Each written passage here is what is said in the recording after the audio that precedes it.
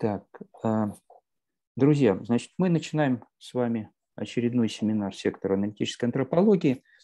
И сегодня у нас выступит а, Владимир а, Владимирович Аристов с докладом «Реляционное статистическое пространство время. Философские и физические проблемы». Владимир Аристов, он сейчас выступает как в данном случае ученый-математик и физик – ну и кроме этого, а, наверное, вы знаете, он а, известен как и поэт, и прозаик, и эссеист. Я думаю, что об этом тоже, может быть, что-то мы, может быть, возникнет об этом тоже вопрос, но сегодня в основном это нас будут интересовать философские и физические проблемы пространства и времени. Вот насколько я знаю, Владимир эту концепцию развивает э, достаточно давно, э, и как бы все-таки происходит какая-то определенная эволюция и развитие его взглядов. Вот это тоже, наверное, мы сегодня узнаем и, может быть, как бы вот получим представление о том, что, что в физике Э, понимается под моментом сейчас. А, ну вот я предоставляю слово Владимиру Арестову и предлагаю всем э, внимательно внимать его э, докладу и участвовать в обсуждении. Спасибо. Андрей, добрый день всем. Значит, ну, доклад называется «Революционно-статистическое пространство и время». Э, ну, конечно, мне очень интересно, и это важно выступить вот перед философами. Э, ну, тем более, что я знал и Валерий по дорогу, и мы в какой-то степени обсуждали эти э, вопросы.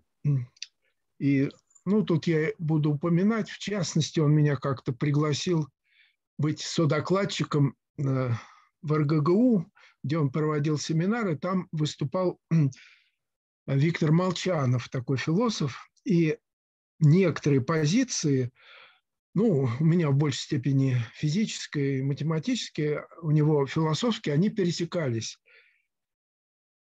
по отношению, по вот, пониманию времени через пространственные, как, каких пространственных терминах. Поэтому тут есть некоторые вот такие непосредственные даже как бы э, точки э, пересечения соприкосновения. Ну, я понимаю, что проблема эта необозримая.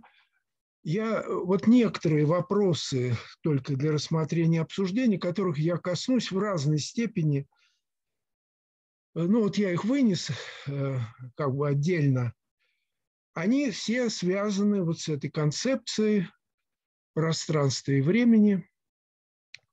Тут э, первый вопрос – это такой общий, который не так часто, может быть, задают, почему мир изучается и описывается в терминах пространства и времени. Может ли он вообще по-другому описываться? Ну, как некоторые вот такие предельные категории – Э, ну, здесь э, вопрос о э, подходе к этому описанию. И здесь у меня важную роль играют некоторые такие гипотетические фундаментальные инструменты, часы и линейки, которые соотносятся с обычными приборами.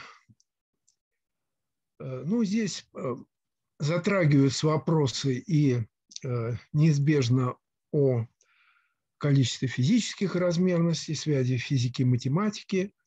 Ну, так как это подход реляционный статистический, то здесь э, оказывается, что можно как-то конструктивно подойти вот к проблемам описания времени как мгновения, времени э, длительности.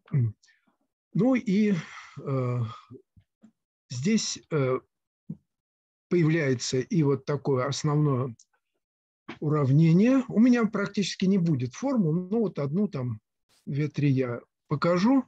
здесь вот как основа этого физических э, представлений, которые соотносятся затем по принципу соответствия с известными уравнениями. Ну и вскользь упоминается о возможности воспроизведения квантовых эффектов, о и гравитационных явлений, и явлений общей теории относительности. Э, по сути дела, в рамках некоторого обобщенного принципа Маха. И говорится о э, возможности в рамках этой модели предсказания новых физических эффектов, которые лежат э, за пределами нынешних экспериментальных возможностей. Некоторые достаточно близко, как представляется, некоторые требуют, конечно, развития. Это ну, в будущем можно ожидать. Ну и э, обсуждается вопрос о э, построении некоторых новых фундаментальных приборов, вот, часов и линеек, как бы нового уровня, и на их основе, возможно, новых математических и физических соотношений. Ну, как видите, здесь э, круг вопросов по сравнению, конечно, с бесконечно возможными тоже достаточно широкий, но я конечно, буду в разной степени касаться эти вопросы в разной степени подробности. Та реляционно-статистическая программа, которую я следую, она в какой-то степени, э, она, конечно, существует не в пустом, так сказать, мире. Тут э, достаточно много пересечений с взглядами и ну, даже непосредственно и какими-то теоретическими подходами ряда авторов. Ну, здесь можно назвать Иван Данцига, и Рашевского, Хойла, и вот Юрия Сергеевича Владимирова, которым мы достаточно ну, как-то взаимодействуем э, тесно ну, на кафедре э, теоретической физики физфака МГУ. И вот неделю назад как раз я должен был тоже выступать во вторник, а он выступал вот ну, в секторе у Андрея Севальникова. Ну, здесь можно назвать и э, известных авторов, физиков Лисмолина, там вот индийского автора Сидхарта и Барбура, и вот, кстати, Андрей Парамонов мне в свое время раз его работы указывал. Ну, приведу некоторые только такие словесные формулировки. Это был отдельный вопрос, вот обзор таких взглядов, в чем есть пересечение. Вот Ли Смолин, например, писал, что я называю революцию физики 20 века реляционной. И объединение квантовой теории с общей теорией относительности – задача по завершению реляционной революции. Ну или Брайан Грин – ну, известный своими работами по суперструнам, он говорит, что при отсутствии пространства-времени, изначально введенного в теории, не будет никакой фоновой арены, в которой они были бы встроены. Ну, то есть вот пространство и время будет возникать как совокупность более элементарных ингредиентов и фундаментальной реляционной беспространственной безвременной э, теории. Ну, это вот соответствует как бы таким а, обобщенным задачам и, как он считает, Лейбница, Маха, Эйнштейна. Я очень кратко э, понимаю, что здесь я, ну, сказать, может быть, не совсем в свою область вхожу, поскольку здесь специалисты, философы есть, но, тем не менее, я коснусь только э, тех э, проблем, которые вот соответствует э, реляционным представлениям. Ну и как часто противопоставляют, а в чем-то они и могут быть и согласованы, это э, представления субстанциальные о времени. Ну, здесь, э, конечно, большая литература существует, ну, уже довольно давние работы, допустим, Юрия Борисовича Молчанова, Рихенбаха, Гринбаума и так далее – ну, э, если э, идти от античности, то тут э, можно упоминать и, конечно, какие-то субстанциальные время и пространство, взгляды, которые развивали там в Милецкой школе и Илиаты.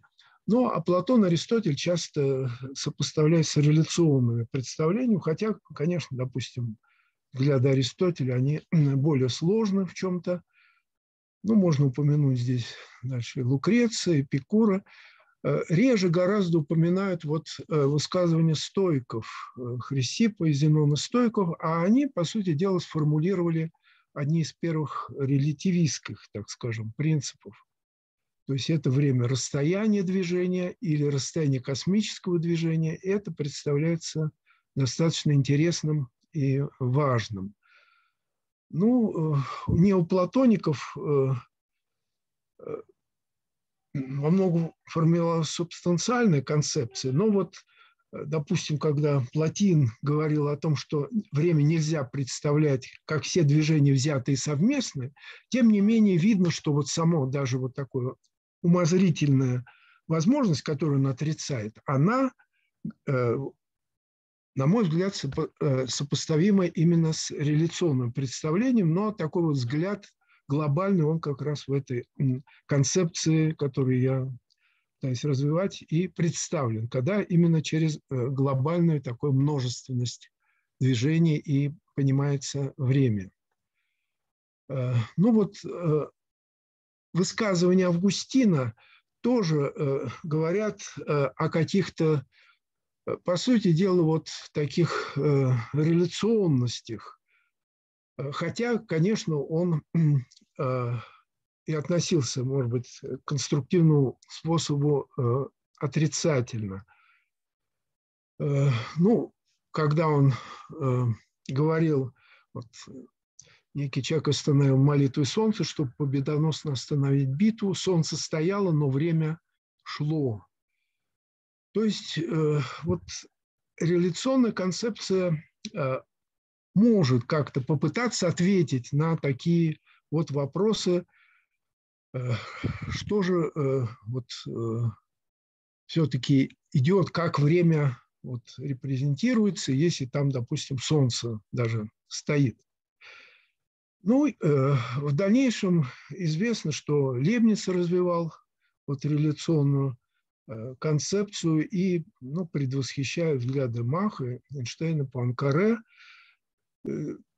достаточно редко упоминают, э, когда обсуждают вот, э, субстанциальную концепцию Ньютона, позицию вот его учителя Исаака Бароу, который, ну, по сути дела, говорил о важности именно субстанциальных представлений об абсолютном характере времени. Ну вот Уитроу цитирует вот слова именно Исаака Бароу. Э, время не содержит все движения, поскольку рассматривается его абсолютная и внутренне ему присущая природа. Ну, понятно, что это предвосхищение взглядов Ньютона. Ну, реляционные модели оставались до 20 века в основном на вербальном уровне, хотя вот критика Маха, представление Ньютона, она, конечно, подводила э, ко взглядам реляциони, э, реляционистов и, рели, и тех, кто занимался теорией относительности, ну, прежде всего, Панкаре и Эйнштейна. Э, ну, э, тем не менее, в теории относительности некоторая субстанциальность, она проглядывает. Ну, можно упомянуть вот в дальнейшем такой крайний вот субстанциальность развивал Уиллер – а вот э, среди работ последнего времени можно упомянуть работу Александра Петровича Левича, который ну, был руководителем э, семинара по темпорологии в университете. Э, вот представления о макроскопическом пространстве, они достаточно распространены были уже вот в 60-е, 70-е годы среди физиков, хотя не выдвигались каких-то конкретных математических, может быть, а, формальных представлений. Ну, вот Чуй, Циммерман и вот высказывания, например, Циммермана, где здесь, по сути дела, какие-то вот такие махианские, и вот в духе обобщенного принципа Маха высказывается представление. Макроскопическая интерпретация наводит на мысль, что квантовая механика, так же как классическая физика, настолько успешна потому, что в использовании пространственно-временной системы отсчета теория незаметно задействует Вселенную таким образом, чтобы представить ее наиболее существенные свойства. Ну вот представляется, что необходим поиск мета-теории, где отдельные части современной физической картины мира были связаны воедино. И вот построение э, модели пространства-времени вот реляционное представление, они могут этому способствовать. Э, я только могу упомянуть различные варианты физических концепций. Ну, тут и этого Уиллера, и Хокинга, ну и, конечно, модели суперструн. Ну, характерно, что они совершенно понятно апеллируют к э, построению на, начиная с планковских э, масштабов. Э, вот.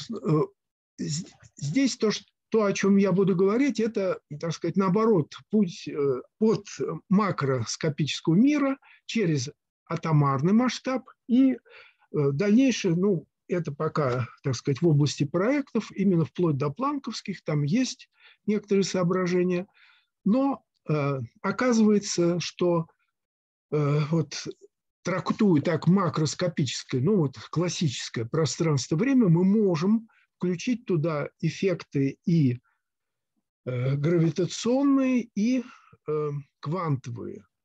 Квантовые эффекты начинают проявляться, как представляется, уже на, на атомарном уровне. И, собственно, вот эта вот модель, она это каким-то образом э, описывает. Вот. Мы строим реляционную конструкцию пространства как конфигурацию частиц, пространство материи, пространство масса. И вот э, дискретная структура, оказывается, физического пространства прямо сопоставляется дискретной структурой э, материи. Вот. Ну и э, вот э, это основа безразмерного описания массы пространства время, потому что время будет сопоставимо затем с пространством, с изменением пространственных каких-то выражений. Ну и так вот такой общий вопрос, который может быть задан, почему мир описывается, изучается в терминах пространства и времени.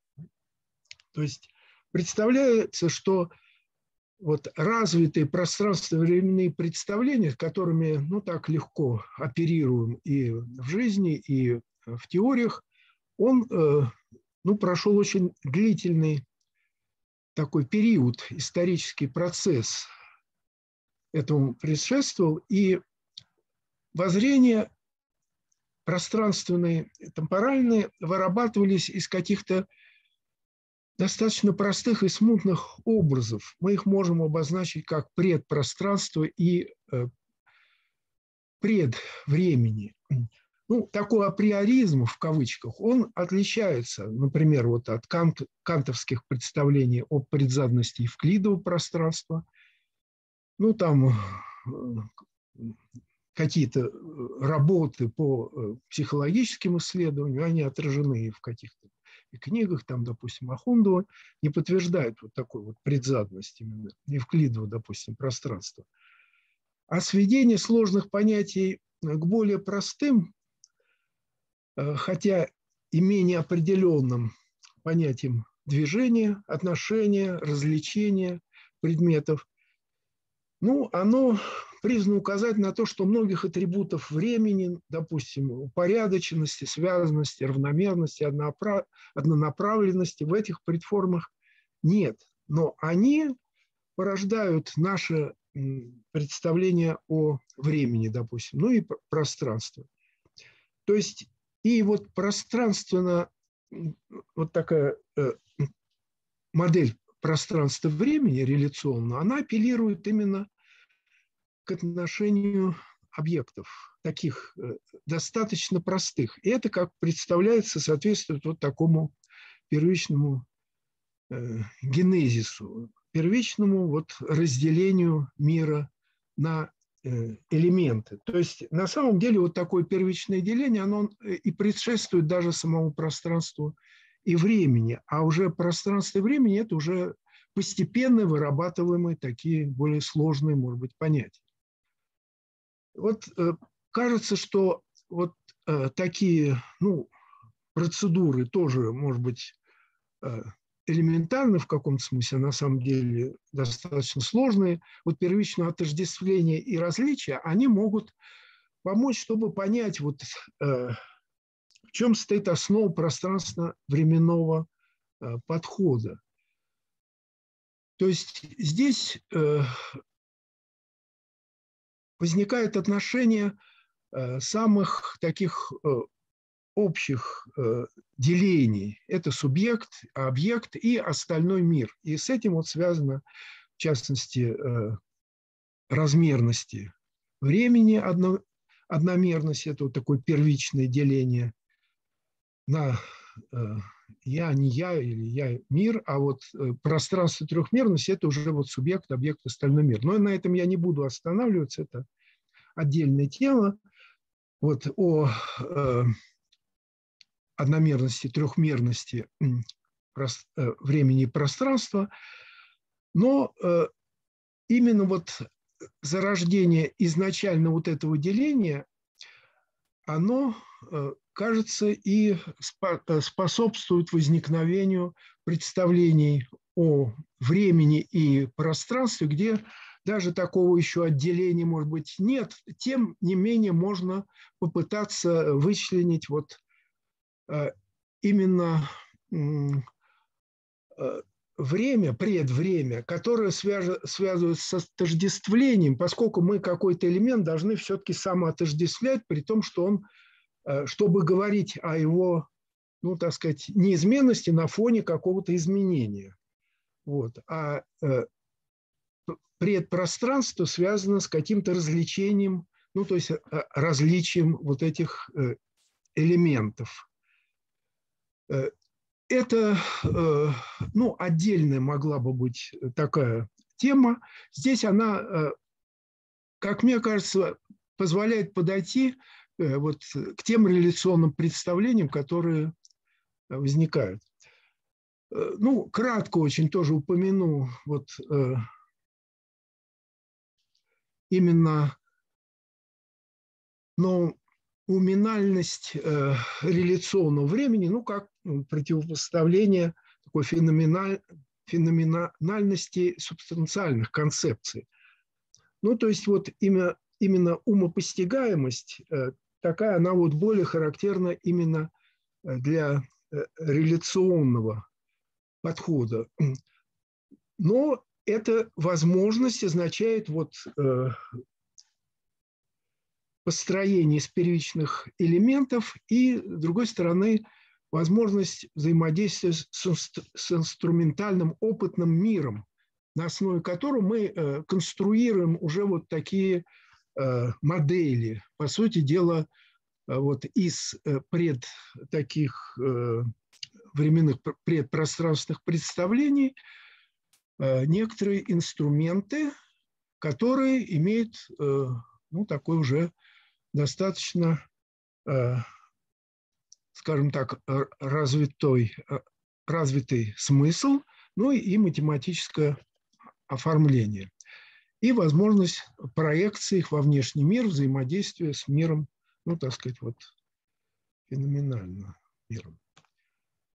Вот. И вот тут э, сразу по, э, полезно уже сказать о э, ну, двух ипостасях времени, времени мгновений, время длительности. Это уже какой-то следующий шаг. Ну, по сути дела, он предъявлен э, в развитых представлениях о времени.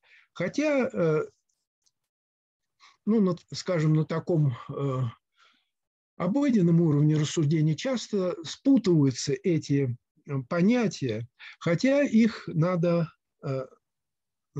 разводить.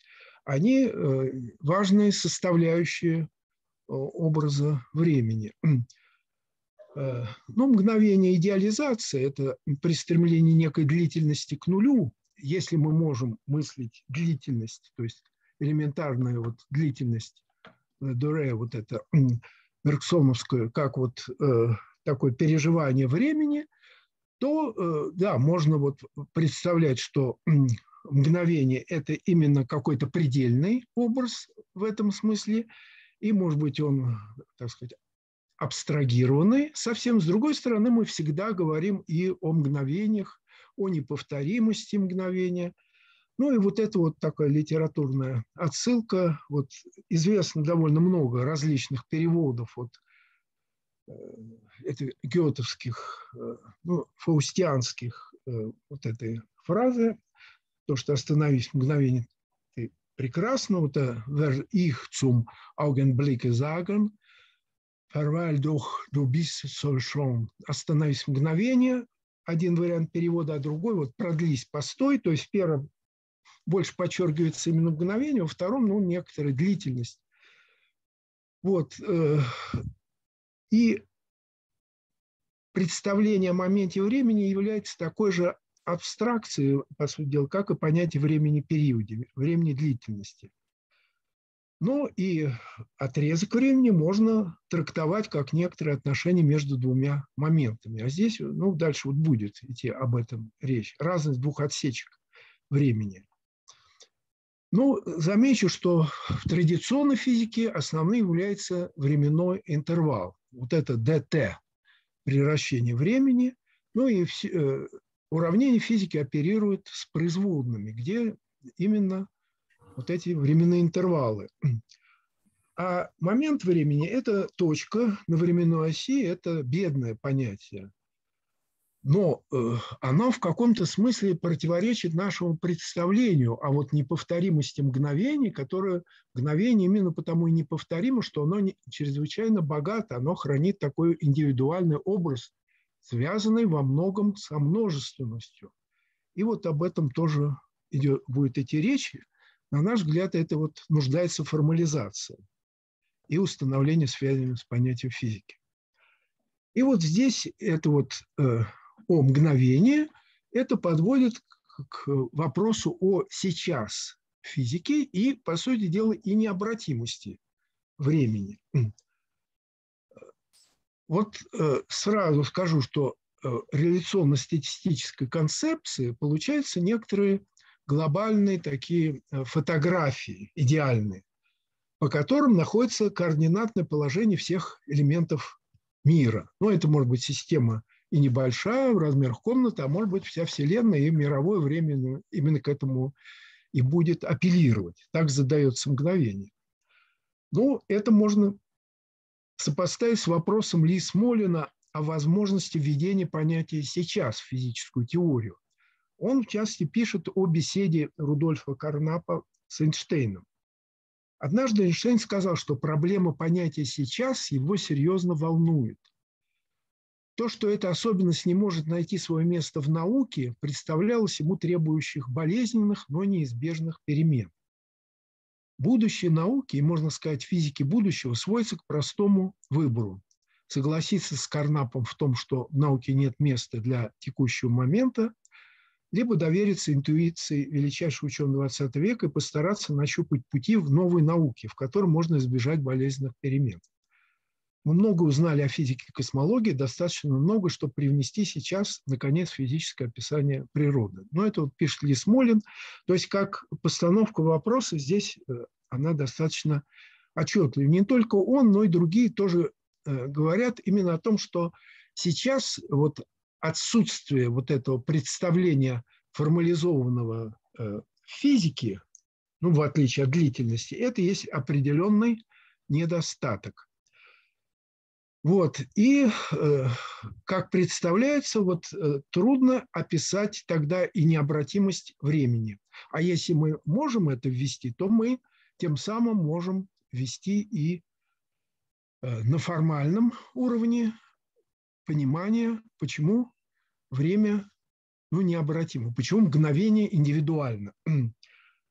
Ну, на теоретическом уровне здесь важны утверждения Стивена Хокинга о необходимости соблюдения защищенности хронологии. Это, ну, когда он обсуждает там э, парадоксы, возникающие в общей теории относительности, ну, там исследуются возвраты во времени, но там возникают вот парадоксы дедушки известные, поэтому вот он говорит о защищенности, надо соблюдать, соблюдать защищенность хронологии. Но если мы не вводим модель необратимости, то это оказывается, ну, так сказать, важным, но таким утверждением ну, общего свойства. Вот. Э, итак, ну вот теперь более подробно о том, как будет э, вот, э, вот это строиться модели. Модель пространства устанавливать через установление связи с конфигурациями частиц. Ну почему? Потому что мы апеллируем к фундаментальным приборам, а фундаментальный прибор для измерения пространства – это, ну, кажущийся простейшим, примитивным – это масштабная линейка. Но если посмотреть, как она, какова структура ее, это предельно однородная, э, изотропная структура дискретная атомов. Э, ну и тем самым процесс измерения, он сводится, конечно, мы начинаем от простейшего, от прикладывания линейки, но потом уже там много таких опосредованных операций э, путем вот сопоставления такой структуры. Ну и э, можно несколько обобщить эту модель и вот строить такую модель дискретного вот этого реляционного пространства. Ну, а для вот представления о времени используется, как я сказал, идеализированный фото, фотоаппарат для получения мировых фото, фотографий набора координатных значений всех частиц мира. Если мы построили пространство, то мы уже можем по фотографии э, получать, ну, если имеем в виду, что вот это представлена какая-то сумма световых явлений. Ну, в дальнейшем это можно э, обозначить как электромагнитные явления. На такой обобщенной фотографии видны э, элементы, ну, частицы, допустим, мира и их координатные представления. То есть мы можем, если э, пространство описывать в терминах, так сказать, масс, а время описывать в терминах пространства. И вот здесь как раз эта концепция э, сопоставляется с философскими взглядами вот Виктора Молчанова, ну, который там, развивая некоторые положения Гуссерля, вот э, ряд работ написал о происхождении имманентного времени, ощущения и пространства, имея в виду, что можно описывать время в терминах пространства. То есть время как бы выступает как тень пространства. Но без формализации здесь же предлагается формализованная такая вот процедура. Э, ну вот, э, значит, оказывается вот э, такие процедуры, и затем мы по принципу соответствия те уравнения, которые, ну, я дальше это покажу, э, соотносятся с обычными уравнениями традиционной физики. Итак, э, вот если мы говорим теперь о приборе э, для фундаментальном приборе для определения времени, то можно сказать следующее. Время описывается обычно одним параметром, мгновению соответствует одна точка на временной оси. Ну, сдвиг начала отсчета по времени не имеет значения физики. И вот э, некого темпор... введение некого темпорального комплекса, где будет фигурировать и сейчас, и длительность, оно вот представляется важным, чтобы в едином приборе это Э, было отражено. Ну, поэтому можно его назвать темпорограф или вот темпорометр, я называю. Ну, то есть здесь уже не только метрические соотношения, но это будут часы вот с памятью, где, по сути дела, каждое мгновение – это вот своя фотография, определяющая состояние системы. Причем это будет мгновение, которое ну, предельно, вот если э, точка на предельно бедная, то это, так скажем, предельно богатая.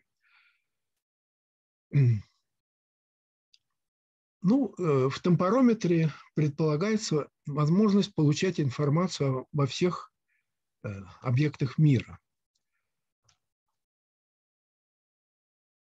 Ну, здесь обычно возникают вопросы, как же вот временная последовательность здесь формируется, не, не привносится ли она изначально.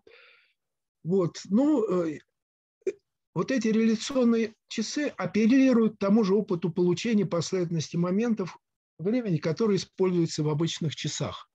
То есть это некоторый, по сути дела, операциональный подход, ну, может быть, наверное, в духе Придсмена, и в результате выполнения инструкций мы получаем вот набор каких-то вот э, чисел, которые и соответствуют нашему вот временной э, последовательности, она может быть сведена к алгоритму, который соответствует получению наших вот обычных часов. То есть нажание кнопки затвора идеального фотоаппарата. Ну, э, как бы цифры временной последовательности выпадают при использовании соответствующего прибора. Ну, в электронных часах это реализуется. Ну, и это можно связать э, с какими-то инструкциями, ну, там, операции выполнить операцию напечатанную слева, выполнить инструкцию напечатанную справа. То есть э, процедура упорядочена может быть сведена э, к некоторым примитивам, простейшим элементам отношений, которые, возможно, могут быть сведены к логическим операциям на уровне принятых в аксиоме, ну, аксиом ну, вот, порядка теории множества, например. Это, ну, как бы я предвосхищаю вопросы, которые могут быть заданы. Э, ну, вопрос о возможности знать свойства каждого элемента тоже вот задает вопрос, но мы же не можем знать каждый э, элемент. Это такая чистая идеализация. Да, конечно, но здесь есть вот э, та же идеализация, что в статистической теории, в статистической физике мы тоже там не говорим о каждом элементе, хотя, в принципе, ну, можем это узнать. Э, здесь важны вот некоторые суммы в основном. Э, и причем оказывается, что темпорометр и термометр – это э, ну, не только терминологическое такое случайное свойство. Температура – это есть статистическая величина. Ну, так вот преодолевалось понятие теплорода. И время не является субстанцией, ну, как флогистон, теплород, эфир – но а носит э, реляционный характер. То есть, по сути дела, время как понятие э, может быть редуцировано из аппарата физики, но в обобщенном смысле оно э, наоборот как бы получает новые возможности, новые смыслы. И можно, в принципе, ее сопоставлять с субстанциальными концепциями.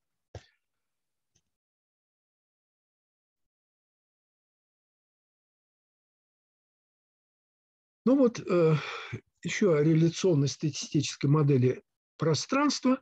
Значит, э, выявляется измерительная эквивалентность расстояния и конфигурации масс. То есть мы э, длину расстояния меряем в терминах массы. Там появляется некий множитель, который выражается через фундаментальные константы, и мы можем выражать э, пространство измерения через э, мерение в единицах массы.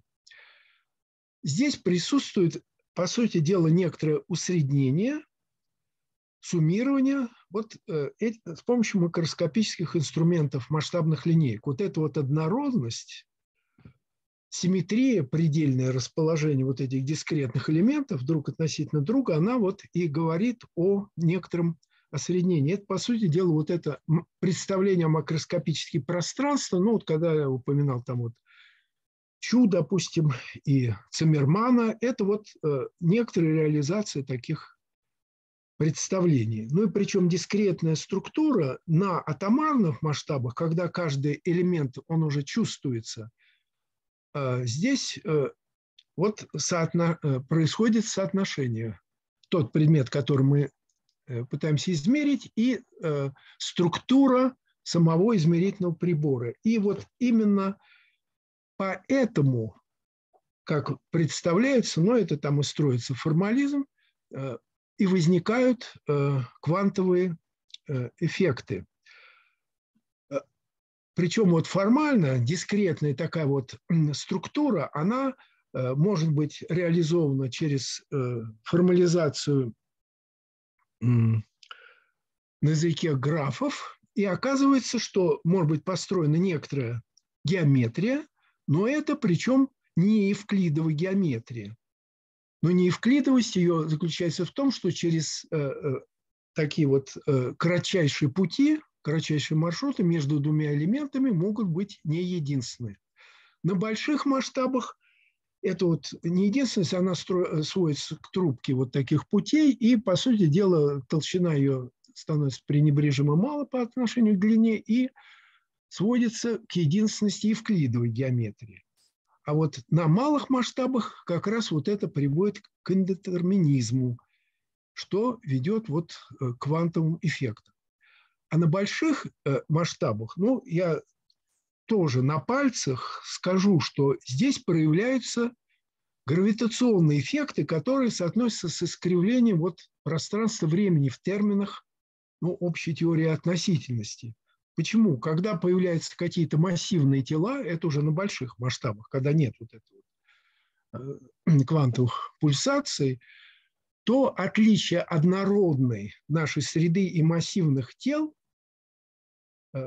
массивные тела, которые выделяются по сравнению с другими менее массивными телами в реальном пространстве, они приводят к тому, что происходит отличие вот от эталонных вот этих масштабных линеек.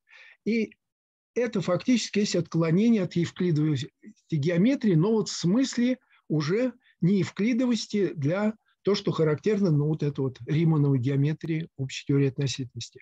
То есть вот на пальцах я более подробно, я, может быть, почти не буду говорить. Здесь и э, улавливаются и квантовые эффекты, и э, эффекты гравитационные, ну, э, эффекты, по сути дела, э, общая теория относительности.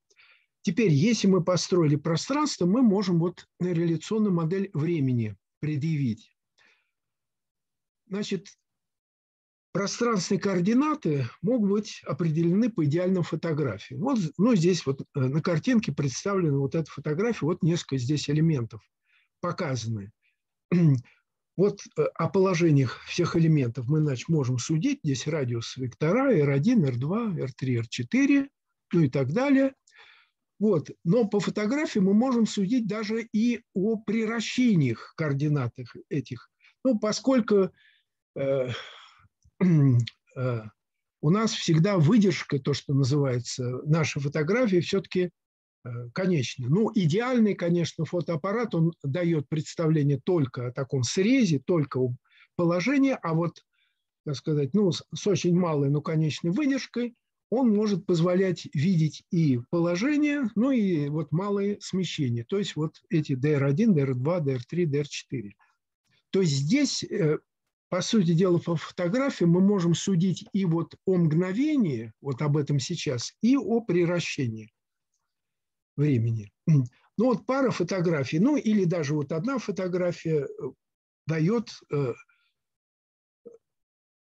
при малой выдержке э, вот судить о траекториях, то есть мы можем говорить и о приращении, и о времени длительности. Но а момент вот это сейчас он дает, задается вот этой мгновенной фотографией вот расположения этих элементов и понятно, если это элементов очень много, ну как вот в мире, то они в следующей фотографии будет их положение неповторимо.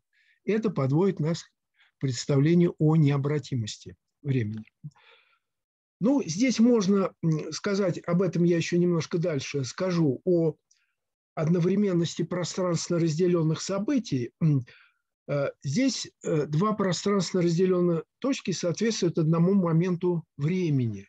То есть вот они связаны световым лучом на разных расстояниях, но фотографии, они вот данные на одной фотографии, естественно, их отнести вот к одному моменту вот этого модельного времени. Но переход к одновременности, принятый в специальной теории относительности, он может быть проведен, естественно, по принципу соответствия. И э, ну, об этом я буду немножко дальше подробнее говорить. говорить. Э, ну, э, в каком-то смысле о вот таком представлении вот о некоторой абсолютности определения одновременности говорил о, ну, Ильи Смолин вот э, в своей работе «Возвращение э, времени». То есть вот абсолютность, которая справедлива во всей Вселенной. Вот эта фотография дает такое представление.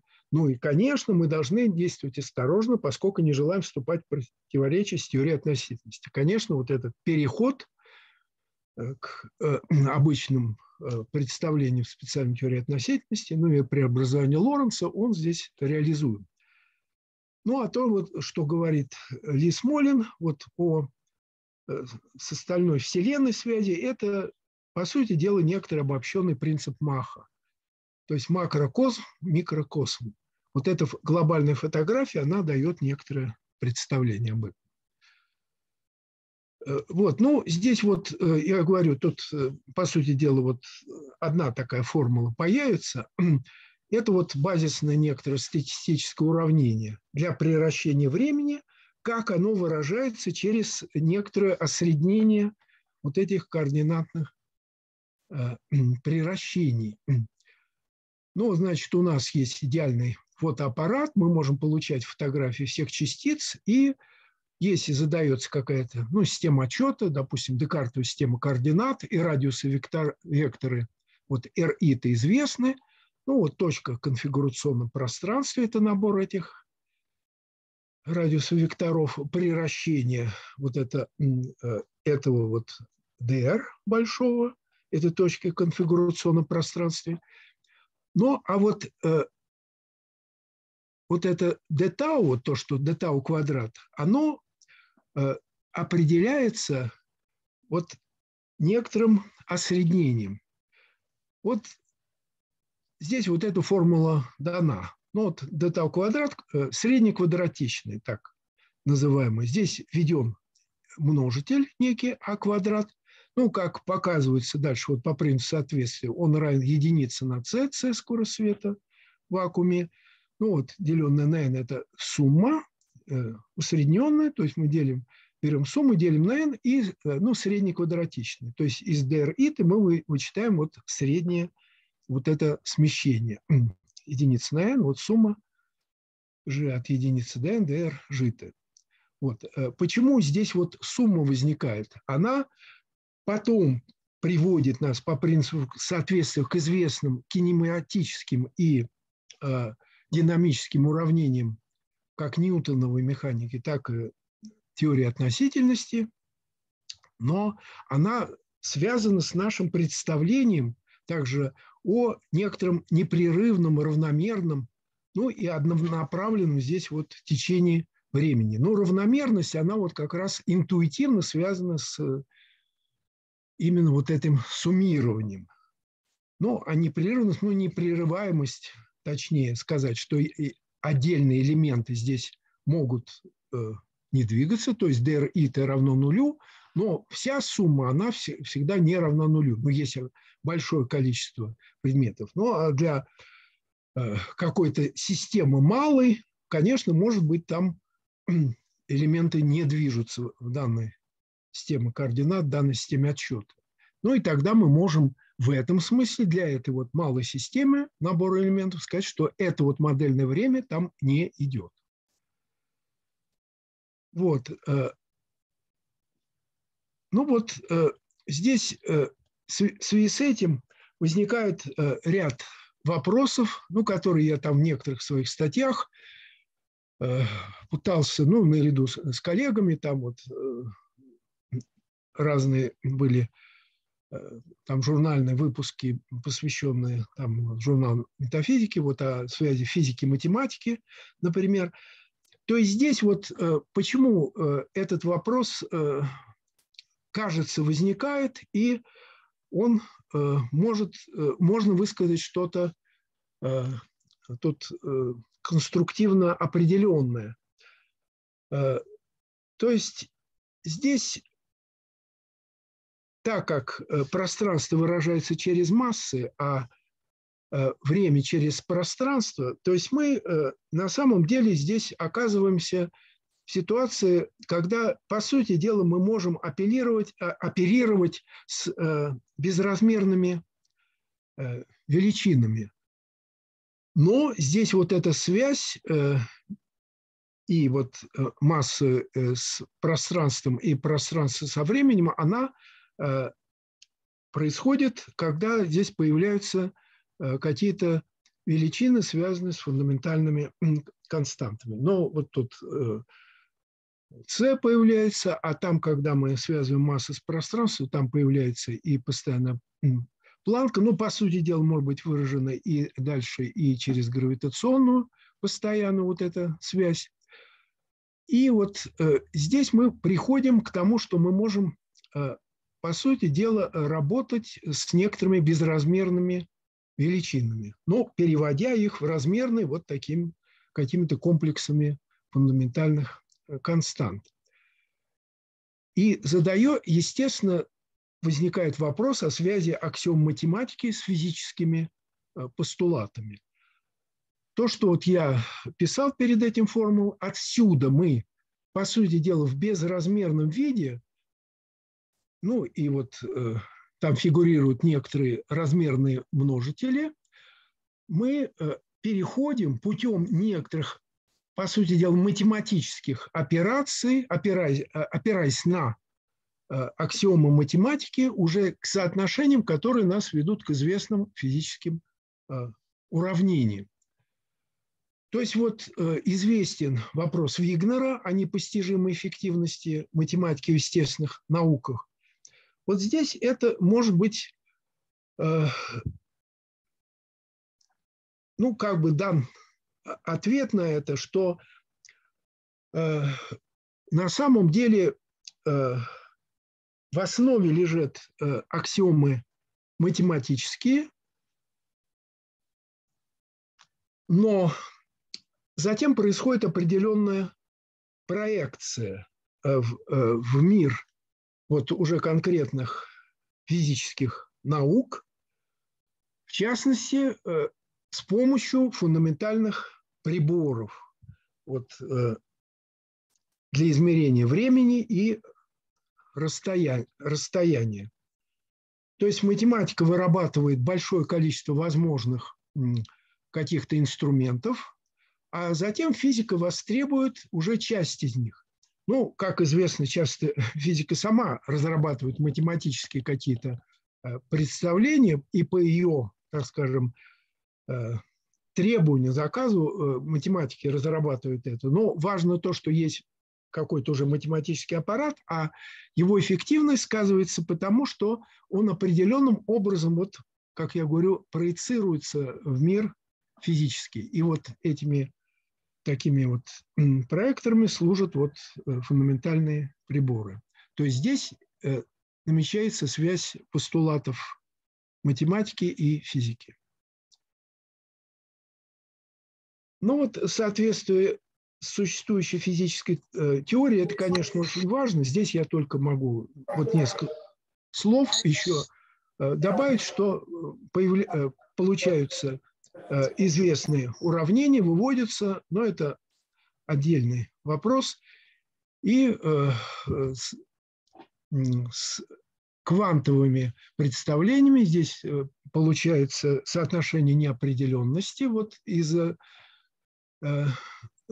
упомянутого вот это индетерминизма.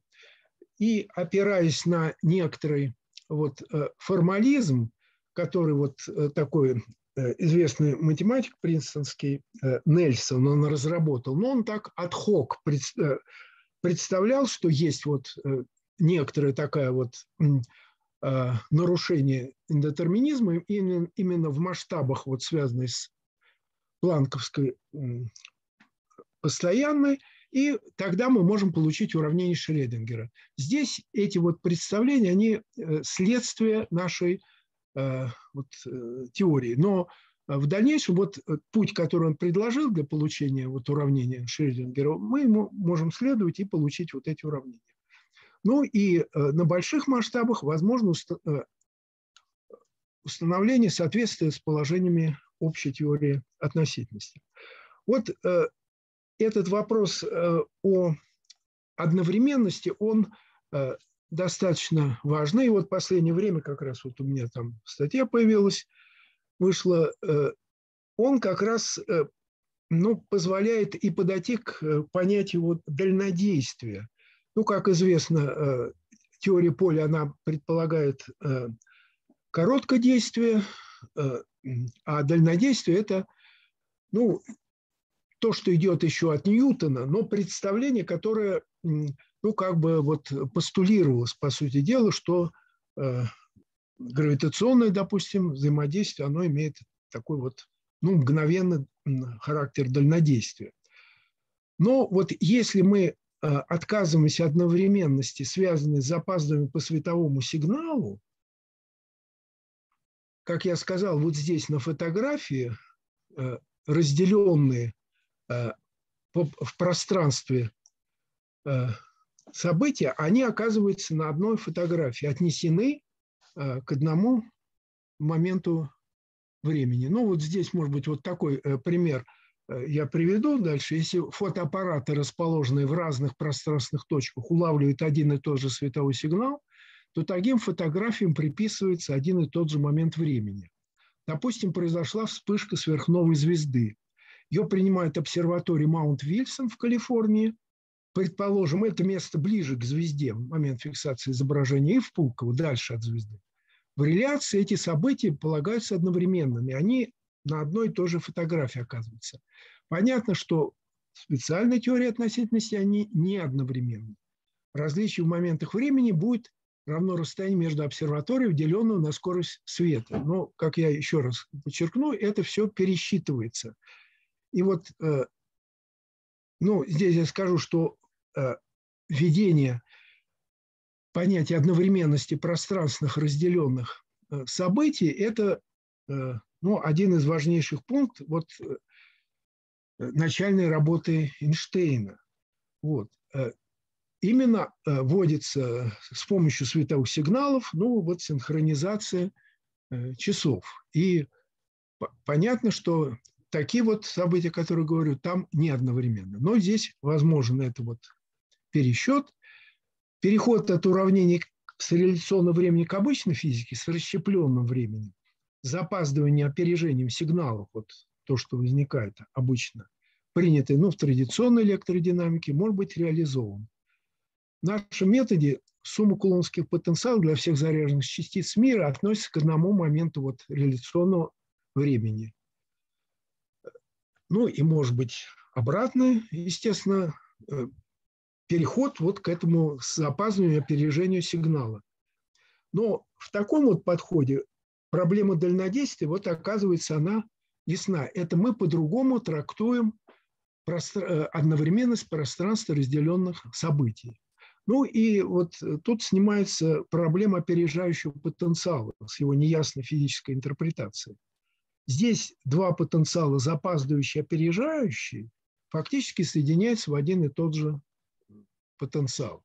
А если мы переходим, ну, обратно делаем преобразование, то вот мы э, там от гиперплоскости, ну, вот получается вот э, этот световой конус, два световых конуса прошлого и будущего. Э, очень кратко остановлюсь на том, что в этом подходе удается получить здесь взаимодействие описывается, и причем вот возникновение кулоновских потенциалов и потенциалов гравитационных, оно Э, тоже трактуется, ну, на самом деле это и есть сумма э, этих потенциалов по всему, э, по всем элементам мира, и она э, возникает из соответствия суммы, вот, которая э, там вот появлялась э, той формуле, которую я описал. То есть она здесь, вот эта сумма электромагнитных и гравитационных потенциалов, она э, выводится просто из соотношений ну, теории вероятности. То есть мы сопоставляем большие безразмерные суммы большого количества элементов. Ну, так вот возникают здесь описание, вот, в частности, гравитационных явлений. Э, из-за того, что здесь описание вот такое глобальное, то здесь возникают и э, некоторые соотношения, которые ну, носят характер э, так называемых космологических совпадений, соотношений между какими-то фундаментальными константами ну, в частности, между э, радиусом мира и, э, ну, э, радиусом электрона. Вот, и там э, фигурирует э, так называемое число Эдингтона. Это число частиц в мире. 10 80 Дальше оно тоже будет упоминаться здесь. Из-за вот этих статистических глобальных закономерностей возникают вот соотношения, которые обычно ну, просто э, предъявляются как некоторые эмпирические соотношения. Э, вот темная материя здесь тоже трактуется как проявление вот этой статистической, такого статистического подхода. Я не буду на этом совершенно останавливаться, это тоже не так давно вышедшая работа моя – вот. Ну и проблема необратимости времени, я бы э, это упоминал, э, что здесь, э, так как каждое мгновение, оно носит вот, ну вот идеализированный, неповторимый характер, то представление необратимости времени может быть введено. Ну и там некоторые отдельный вопрос о термодинамике времени и так далее. Вот, ну, э, несколько слов о предсказании новых физических эффектов. Ну, вообще говоря, модель, э, во-первых, она, э, новая модель, требуется, чтобы она воспроизводила известные уравнения. Ну, вот по принципу соответствия это довольно долго, вот там это вот как-то она, э, эти вот вырабатывались соотношения, она корректировалась. Э, а другой вопрос, э, ну, желательно предсказание каких-то новых эффектов, ну, чтобы эта теория была верифицируема. Ну, если это не подтверждаются, эти эффекты, то ну, надо либо корректировать немного, либо существенно в этом подходе. Ну вот здесь э, получается аналог метрики Шварцшильда и эффекта общей теории относительности. Э, воспроизводятся э, поэтому классические эффекты общей теории относительности, но предсказывается, что при, при повышении точности будет проявляться уже, ну, там следующие члены, э, это разложение отношений, отношений гравитационного радиуса к радиусу вот, до этого объекта, откуда мы меряем. И вот в следующем порядке он, э, э, ну, обычно линейно это все воспроизводится, а вот следующее отношение, оно может дать отличие.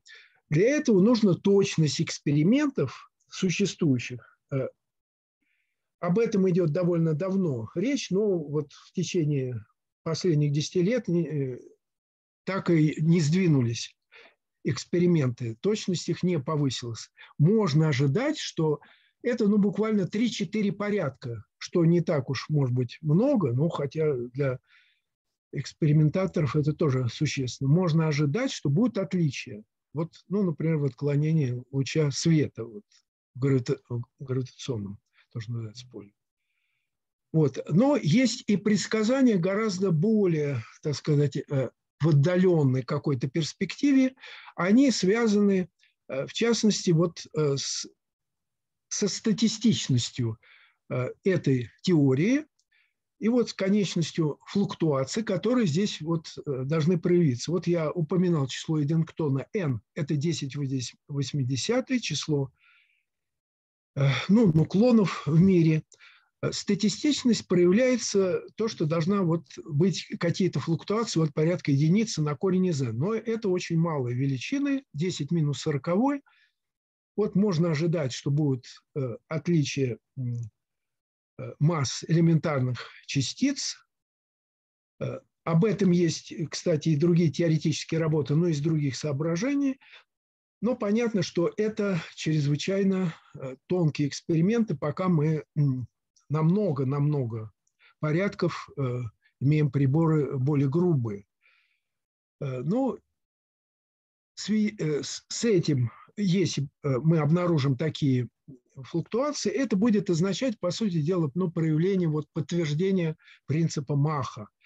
Ну, здесь будет и отличие эквивалентности инерционной гравитационной масс, но сейчас, как известно, это подтверждается, что они одинаковы, но точность там измерения, я скажу, она тоже очень высокая, но это что-то 10 минус 12, а видите, там гораздо более тонкие.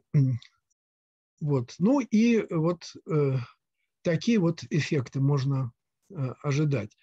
Э, это, вообще говоря, противоречит положению квантовой вот нынешней механики, но это гораздо меньше масштабы, поэтому и там дру, другие совершенно могут быть эффекты. Это какое-то вот э, развлечение неразличимых сейчас частиц, это проявление какого-то э, э, тонкого света, но на абсолютно других масштабах.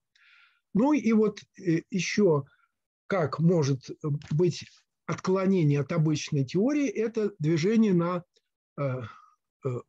ну, сверхвысоких скоростях ультра-ультра релятивистских скоростях, что имеется в виду? Если мы подойдем к скорости света на относительную величину, вот как раз э, единица на корень из n, то есть это 10 минус 40. Ну, сейчас мы на самых больших ускорителях, конечно, очень-очень далеко от этих.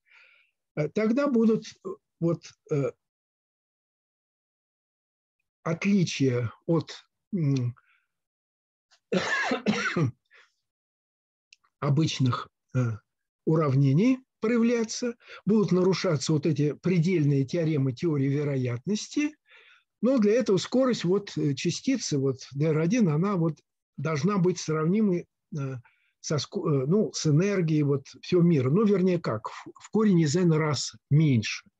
Это вот просто закономерность теории вероятности при взаимодействии двух частиц, например, с такими большими скоростями, уже будет не сохраняться кинетическая энергия, ну а некоторые там дополнительные члены, члены надо вводить. А, вот есть один такой э, парадокс, э, на который практически никогда не обращают внимания, а именно то, что э,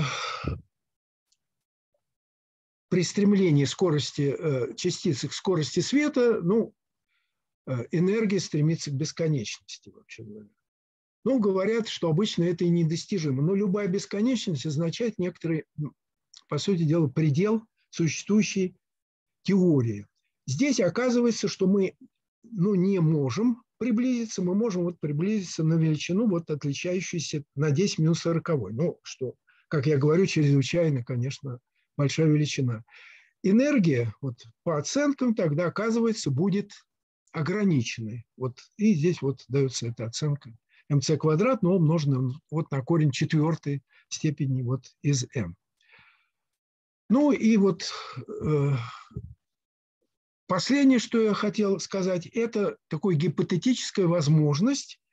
Это отличает эту модель от э, других представлений о том, что можно пытаться строить э, фундаментальные приборы на основе новых математических соотношений. То есть так как у нас фигурируют вот некоторые суммы, некоторые осреднения. Можно вводить ну, некоторые суммы с какими-то весами, например, зависящие от расстояния. Вот, вот та сумма, которая связывала приращение расстояния и приращение времени. То есть здесь есть ряд возможностей, которые, ну, опять же, это некоторый гипотетический такой взгляд, но тем не менее мы можем формулировать какие-то новые э, вот соответствия новых времен, допустим, и новых вот сумм связи, ну, допустим, с расстояниями. Если мы сможем каким-то образом измерять вот эти э, новые времена, ну, то есть э, мы же можем вот э, ту сумму, которую я э, показывал, мерить именно набирая вот эти множественность вот этих превращений, ну и затем действительно суммируя. Там они будут с какими-то весами другими. И будут получаться другие суммы, и тем самым будут получаться, допустим, какие-то другие времена. Но тем самым мы более подробно будем описывать какие-то, будем описывать движения на основании э, уже других уравнений. То есть здесь будет э, предъявляться какая-то э, набор вот новых уравнений ну, для пространства и времени. То есть по-новому ставится проблема более полного описания реальности. То есть в этом смысле здесь это поиск, можно сказать, открытых параметров, новых временных и пространственных характеристик движения. Ну, могут быть вот написаны другие уравнения. То есть помимо обычных уравнений движения будет описываться дополнительно. Описание будет подробно, более точным. Хотя соотношение неопределенности ну, немножко будет, э, так сказать, как-то скорректировано, но не будет полностью элиминировано.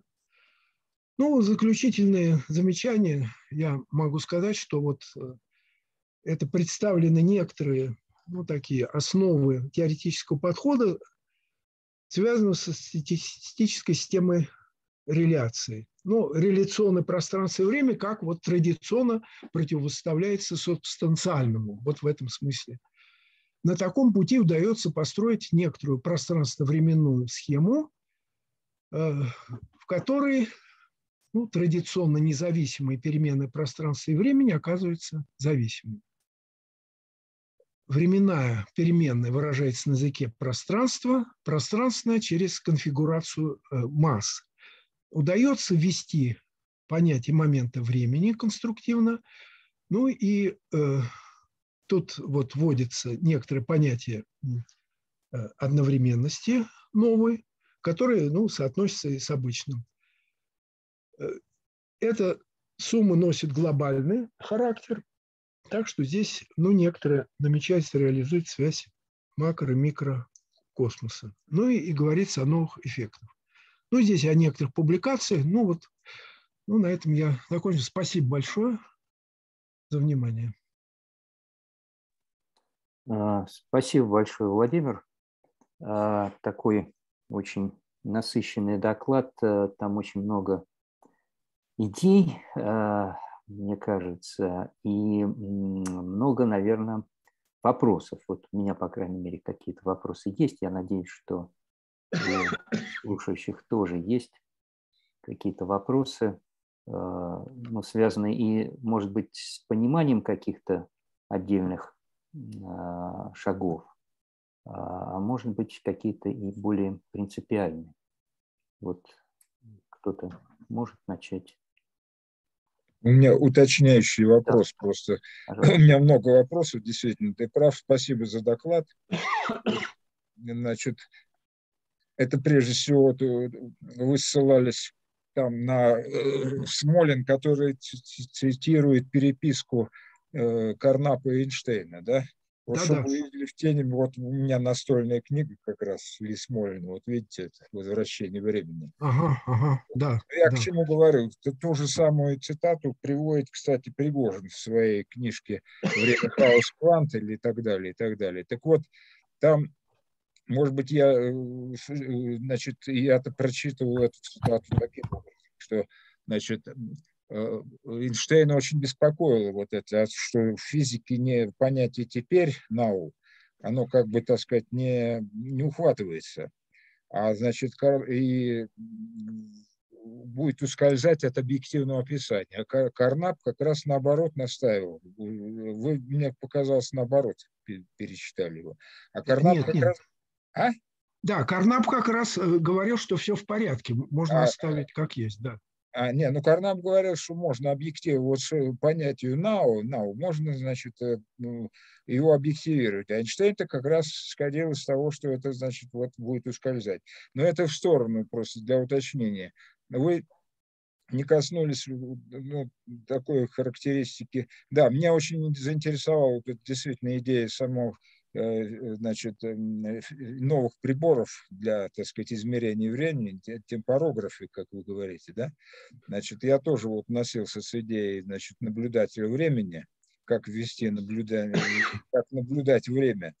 Но, опять-таки, это просто в сторону. Вы не упомянули о такой характеристике времени, как э, стрела времени. Почему? Вот это, собственно, мой вопрос конкретный. Да, э, ну, конечно, стрела времени э, с, э, с вопросом о необратимости времени, она ну, прямо соотносится. И, ну, есть несколько стрел времени, но об этом собственно, много писали, ну, из физиков вот Хокинг этому посвящал ну, есть стрела времени там космологическая, вот связанная с расширением Вселенной и связанная с энтропией, допустим, тоже вот, и, ну, он вот говорит о том, как они вот соотносятся. Я это не упомянул в силу, ну, краткости того, что я э, говорил, потому что необратимость, ну, это просто тема одного из докладов. У меня несколько работ есть, и там я говорю вот о в частности, о термодинамике времени, вот, э, возникающей, там все эти вопросы в какой-то степени затрагиваются. Я говорю, это из-за недостатка, ну, просто вот э, самого физического вот времени доклада. Конечно, это важный вопрос, и он каким образом здесь можно воспроизводить вот эти вот стрелу времени, например, вот в тех представлениях, которые я говорил. Но если мы говорим вот о глобальных фотографиях, то вот это расширение Вселенной, но стрела времени, связанная с расширением Вселенной, она здесь просто воспроизводится. Но если мы э, вот делаем одну фотографию и э, ну, у нас на одном расстоянии, ну, так сказать, совсем примитивно говоря, находятся там отдаленные галактики и следующие фотографии, они на другом расстоянии, то, естественно, все время у нас будет вот это представление о том, что это меняется, и именно меняется в связи с, расширя... с расширяющейся Вселенной. То есть это представление о стреле времени, вот именно связанное Э, вот, космологическое, оно здесь воспроизводится. Если мы говорим об энтропии, ну, здесь уже несколько сложнее. Здесь мы можем говорить об энтропии системы, о Вселенной. Здесь нужно быть все-таки несколько э, осторожнее. Это отдельный вопрос. Если мы можем говорить об э, энтропии какой-то системы, э, ну, ограниченной, допустим, ну, тоже достаточно большой, там, ну, я не знаю, Э, кубик, э, э, кубический сантиметр воздуха содержит 10-19 его частиц. Мы можем вот это смотреть, как там происходит, допустим, релаксация. И мы можем тоже вот для нее вот свое время вот это внутреннее посмотреть. И если вот происходит переход от неравновесного состояния к равновесному, то, конечно, это тоже вот мы можем, ну, если мы сможем это вот воспроизводить вот этими идеализированными фотографиями, то, конечно, это тоже соотносится и с, вот с этой стрелой, ну вот стрелкой, э, маленькой стрелой этого времени вот для этой системы. То есть э, я говорю, что я это не сказал, потому что только, ну вот, э, проскользил по этому вопросу. Ну вот такой ответ.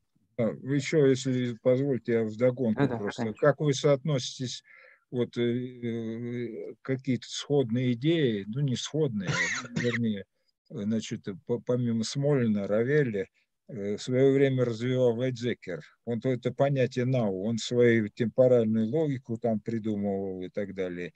И на него, кстати, еще знакомы ли вы с работами Тимашева такого из Института физхимии? Вы знаете, фамилия знакомая, я не помню, может быть, я и видел когда-то, но вот так да. подробно нет. Э, нет Честно, да. да, спасибо, это я посмотрю. Смотрите, время в физических науках у него есть в интернете.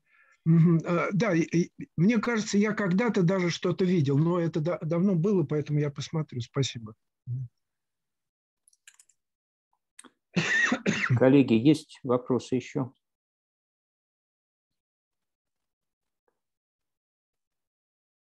Тогда, если можно, я задам вопрос, э, который вот меня все время, э, когда как бы излагается в том или ином виде реляционная э, концепция, вот все время у меня возникает этот вопрос.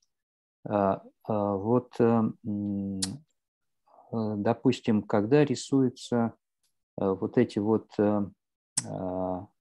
вектора, да, относительно, я так понимаю, некой точки. Вот R1, R2, R3, маленькие вектора, по которым мы фиксируем как бы первоначальное положение вот этих тел на фотографии.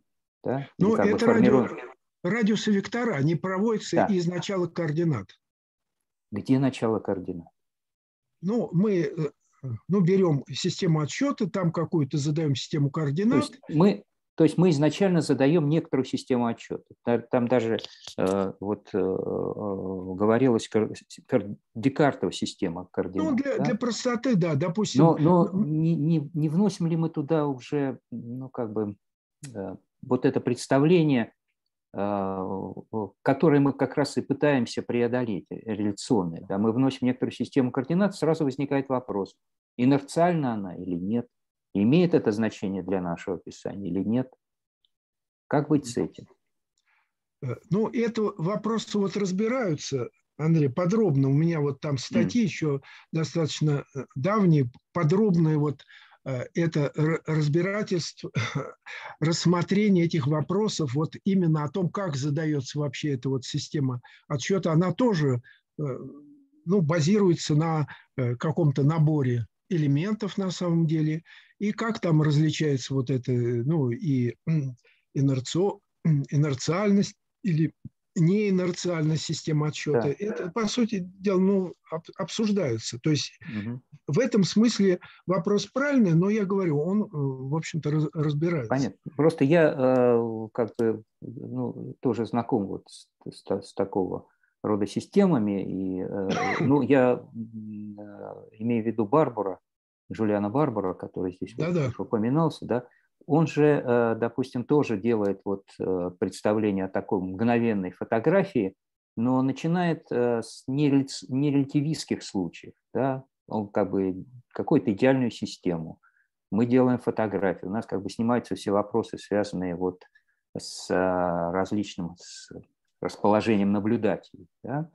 И при этом не выстраивают вот эти характерные вектора из какой-то а, точки, да, а берет только относительные а, вектора относительно ну, одного, одной точки и другой. Да, то есть ему не важно совершенно, какая система, вращается ли она, или вообще такого понятия у нет вращения системы. Да, она вот как есть, так и есть. Чисто реляционное описание. Поэтому вот у меня возникает вопрос, что не не попадаем ли мы вот в ту структуру, которая, которая уже есть. И кроме того, вот еще один такой момент, когда говорится, допустим, о э, возможности описания пространства через распределение масс. Да? Mm-hmm. да? Да. Но ведь тогда вот возникает тот старый вопрос Маха к Ньютону. А что, что как массу-то определить? Ну, вот есть же огромное исследование Джем, Джемера, Дже, как Джемер, да? Ну, Джемера, да, Джемера, да, по поводу массы. Там, по-моему, у него только один пример, э, который более-менее не противоречив, э, э, и как раз он был предложен Махом. Но а, масса определяется через ускорение, опять, у Маха, да, через там взаимодействия чел и изменения ускорений. Э, когда я здесь говорил о массе, здесь, угу. ну, надо это понимать, здесь имеется в виду единица измерения массы.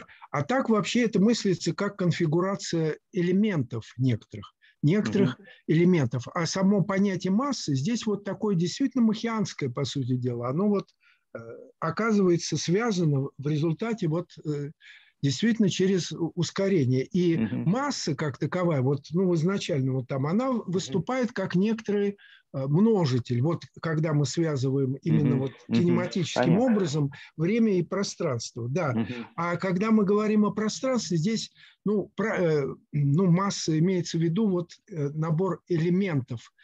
И измерять мы можем уже – вот расстояние э, в единицах массах, вот в этом, угу. вот это важно. А само понятие массы, да, здесь угу. именно как махианское, да, да, по сути дела, выходит, да. Угу. А то, что касается вот как раз системы координат, тоже, по сути дела, здесь вот такая маховская, э, маховский подход. Мы вот по этому движению определяем инерционная система или нет, там, ну, вот эти условия там, Э, который получается вот эти уравнения, мы можем вот судить о том, как...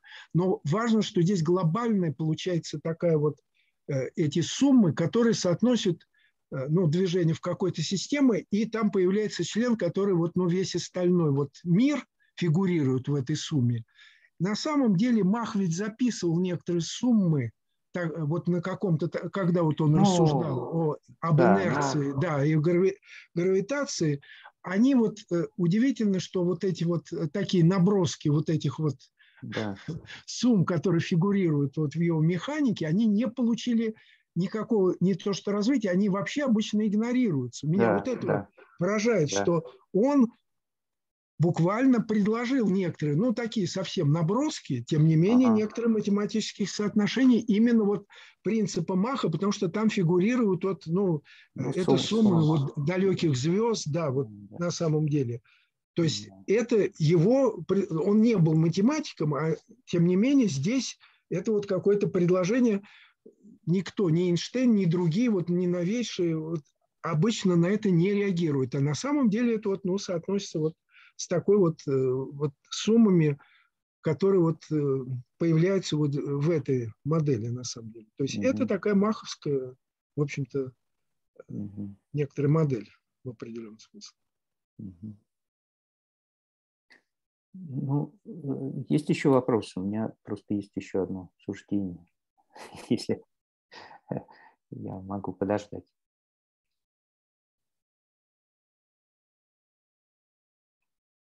А, ну, тогда, если можно, Андрей, я... я в чате а, задал. Да, да, да, Дим. Да. В чате вопрос задал. А, в чате вопрос. Сейчас а. я тогда посмотрю. У меня что-то в чате нет ничего. Дим. Проверь, пожалуйста. Ага, вот. Нет. А. Мне тут приходится удалиться. А, спасибо. ну, Вла... Спасибо огромное. Да. Да, просто, да. Ну, жаль. Ну, ну хорошо. Да, да, хорошо. Э, э, Дима, я не нашел твой вопрос. А сейчас я его прочту. Да, прочти, пожалуйста. Сейчас, сейчас у меня звук включится. А у тебя включен звук? А, нет, не включен. Сейчас, подожди. Мы же тебя слышим, а у тебя звук не включен.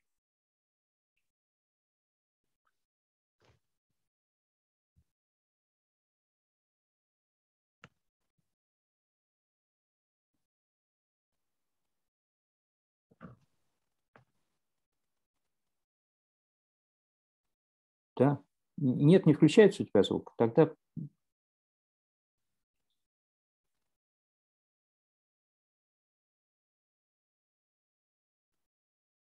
Ну, э, Дмитрий. Нет, да? Ну, и тогда я пока продолжу. Угу. Да. да. Вот у меня а, как бы такое немножко как бы к истории вопроса, даже не реляционный, а вот э, как вот ты называл субстанциальное там представление о пространстве времени. Ну, я даже не там, к Ньютону, а до Ньютона о Декарте. Вот вопрос о Декарте и в связи с этим вопрос о вот этом времени сейчас, об этом now. Да? Вот, э, ну, у Декарта мир, а, как бы он творится каждое мгновение Богом, да, и э, сохраняется Богом каждое мгновение тем же самым действием, как он, как он был сотворен. При этом а, как бы каким-то образом мир меняется, да, вот Бог сохранил его в какое-то мгновение, а в следующее он его сохраняет в том состоянии, в котором его находит. Мерой этого мгновения, в котором происходит это изменение, как у Декарта, понятно, нигде не прописано. Но Декарт вводит э, представление о первом законе, ну, то, что потом станет первым законом Ньютона, да, или там законом инерции, э, которым, который он формулирует э, несколько отличным от э, того, как мы знаем э, вслед за Эйлером, как формулируется этот закон. А, как бы тело, вот, на которое ничего не действует, оно должно сохранять движение прямолинейное, равномерное, но Декарт замечает, насколько это возможно. Да? То есть угу. речь не идет о том, что тело постоянно, вот, если ничего не действует, оно двигается прямолинейно, равномерно. Оно действует только в этой точке. Да? То есть он фактически вводит как бы представление пространства точ, вот, или точнее время, да, которое как бы протягивается в пространстве, вот это движение вводит в точке. Представление движения, которое всегда только по прямой. Да? И это задает вот такой фундамент для э, как бы нововременной науки. Такое представление времени, которое, времени, которое связано непосредственно с пространственностью, как некой возможностью. Угу, угу. Вот как бы мне кажется, что здесь э, вот какая-то идея, которая ну, ну да, должна, в каком-то должна смысле... как-то быть созвучна. Да, ну вот когда я там упоминал вот стойко высказывание, время расстояние движения, может быть, это тоже в каком-то смысле вот как-то э, пересекается с этим, но на, на таком уровне Э, каких-то еще не, не совсем оформленных представлений, но э, да, в каком-то смысле э, это можно тут увидеть. Это там ведь вот этот закон инерции, он, в принципе, Мах, тот же Мах говорил, что он, в общем-то, не нужен, да, поскольку он просто, ну, есть уравнение движения, мы э, ускорение приравниваем к нулю, вот и закон инерции. Но почему-то он формировался именно как это предельный случай как первый закон, да, то есть как некоторые как бы условия, возможности да, дальнейших, дальнейших каких-то законообразных суждений. Ну, обычно говорят, что первый закон, он, ну, как бы постулирует существование инерциальных систем. Ну, это, это, это, очень, это очень позднее слово, это инерциальная система, настолько позднее, ну, да. после, после уж Ньютона и Декарта. Но и тот, и другой говорили о инерции как здесь и сейчас, вот в этот момент, в мгновение, а не как непрерывное некое состояние. Угу. Ну, Ньютон да, воспроизводит форму, э, формулировку Декарта. Угу. Да, это вот для умозре... Э, такой умозрительно очень важный какой-то образ. Да. Угу. Вот. И вот э, от Дмитрия Тытика вопрос, я тогда зачитаю его. Э, правильно ли я понял, пишет Дмитрий, что модель релятивизма в вашей трактовке исключает из рассмотрения физические поля, а ваш выбор частиц и мгновенные снимки разных конфигураций – это своеобразная пробная система для зондирования Вселенной. Э, ну да, это не полевой подход. Это вот как бы ну, попытка, то есть реляционный подход, он э, ну, во многом, но это вот и с Владимиром тоже чем перекликается, это попытка, э, ну, не рассматривая поля. То есть здесь есть вот элементы какие-то, мы строим пространство и время, а поле, ну и вот связанное с ним и близкодействие, оно, в общем-то, исключается. Да, то есть это вот такой, ну, можно сказать, некоторые определенные уже традиции есть вот такого взгляда на вещи и попытка, да. Но, естественно, по принципу соответствия мы должны все время, конечно, помнить о том, что мы должны ну, получать и соотношения известные вот из этих представлений. Да. Еще вопросы? Есть?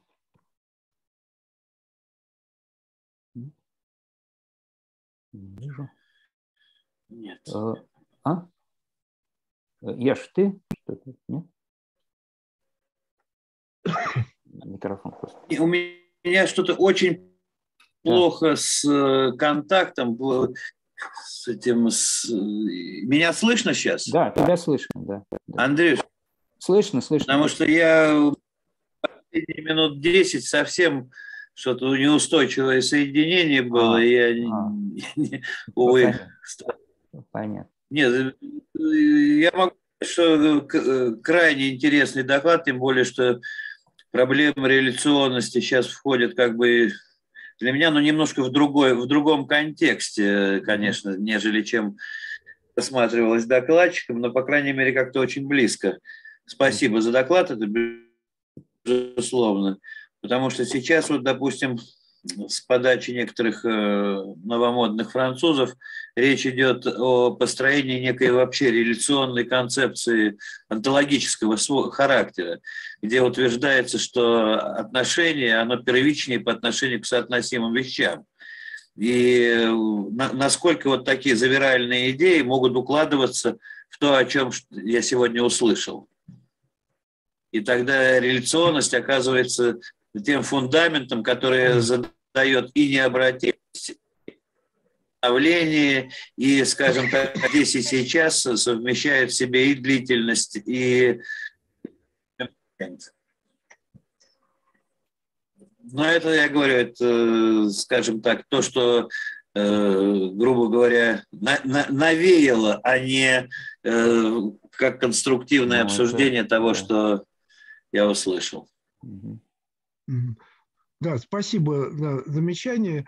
Ну да, реляционность, она вот, там есть и какие-то об, об искусстве некоторые суждения реляционные, там, но это отдельная тема, в общем, так что здесь это определенное пересечение есть, но да, вот здесь и вот, но здесь оказывается ситуация, что и Э, вот и отношения важно, ну, в этом варианте, и сами элементы, они тоже как бы важны. Да. То есть вот здесь такая вот реляция, которая, ну, как бы не, ну, не исключает самого вот э, каждого элемента. Вот. Э. А, Володя, а, а как же тогда определяется элемент? Элемент – это что-то изначальное? Или ну, как вот, бы мы, вот, нет. да, оно же где? В пространстве, во времени, в границах. Ну, то, что вот мы, ну, если вот говорить операционально, то, что вот мы фиксируем на, допустим, вот на нашей фотографии, вот это есть некий... Значит, значит мы, ввели, мы ввели некий прибор макроскопический, всем привычный, э, ну, как в квантовой механике. Ну да, да, конечно, но здесь ведь э, почему это с квантовой механикой, собственно, и э, может э, вызывать. Как известно, квантовая механика, она же, ну, с этого начинает, собственно, вот Ландау Лившиц, Лившиц свой том, что она вот, в отличие, допустим, от теории относительности, она в некотором смысле непоследовательна, потому что она нуждается в, в классическом вот образе, то есть вот образ прибора, вот это макроскопический, он классический. Вот, э, и поэтому вот здесь такая есть некоторая двойственность. И здесь действительно мы вводим вот этот макроскопический прибор, и ну, когда оказывается, что вот эти элементы, мы, то, что мы ну, в результате вот осреднения такого, ну, грубо говоря, замазывания, мы на, макро, э, на макроскопических масштабах у нас осредняется, то когда вот э, элемент с элементом каким-то образом соотносится, вот здесь проявляется вот это э, как раз вот э, индетерминизм. Здесь оказывается ну, некоторая множественность. Мы не можем точно вот принципиально нашим макроскопическим приборам дать единственное показание определенное. Ну, то есть каждый раз мы даем какой-то, но на самом деле это некоторый вот набор вот этих да, но, но при этом, при этом мы предполагаем существование вот этих вот этого вот элемента, э, ну я не знаю, задается ли там его размер. Э. Ну вот э, это представление, да, хотя я говорю, что, конечно, это реляционно здесь это основное, и в то же время вот э, э, сказать, что здесь вот здесь и то, и другое вот важно, и отношения и этих элементов, и вот, э, ну, сам как бы вот Э, это вот пара элементов, которые задает это отношение, может быть, она является вот чем-то таким. Но это надо еще, может быть, уточнить. Но э, я говорю, что несомненно это реляционная, конечно, схема. Несомненно. Но ну, как... А, можно, ли, можно ли говорить об этой схеме как э, ну, каком-то типе скрытых параметров, пусть реляционных, пусть стохастических, но в то же время как бы скрытые параметры в том смысле, что мы вводим вот представление о некоторых частицах, расстояниях, которые они находятся там, где я не могу как бы их э, увидеть, а вижу только какие-то макропроявления. Но э, мы видим их, э, вот эти образы на фотографии, все-таки это мы видим, ну, будем считать, что каждый элемент. Здесь ведь вот там э, цитата была из Лисмоли, но он говорит о скрытых параметрах Вселенной, потому что вот, ну, как бы вся Вселенная предъявлена, и в этом смысле он говорит вот скрытые параметры. Да, вот в этом смысле можно говорить, но все и можно тоже э, ну, сказать, я это упоминал, что мы, ну, отнюдь не каждый, может быть, элемент там можем зафиксировать это так сказать, одному Богу известно, но я говорю, что в статистической физике мы тоже работаем на самом деле вот с этими суммами, где в принципе мы можем каждый элемент проследить, но реальности не можем, но это нам не мешает, тем не менее, с этим вот как-то работать. То есть здесь есть вот э, ряд таких э, вопросов, конечно. Я понимаю, да, то, о чем ты спрашиваешь, здесь это, может быть, надо э, А, вот еще вопрос от Дмитрия Тытика. Я уж не знаю, как, как серьезный вопрос такой. Что для вас категория пропенсивности Карла Поппера? Ну, честно говоря, э, Поппера я когда-то э, читал, но сейчас я не э, берусь отвечать на этот уже конкретный вопрос.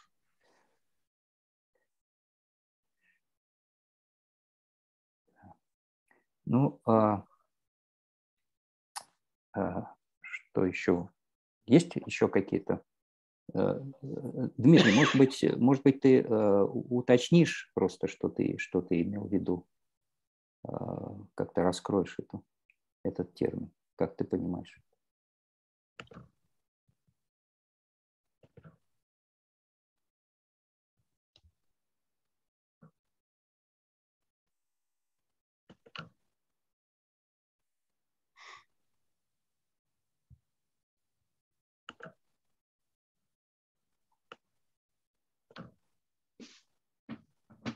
Нет, Дмитрий.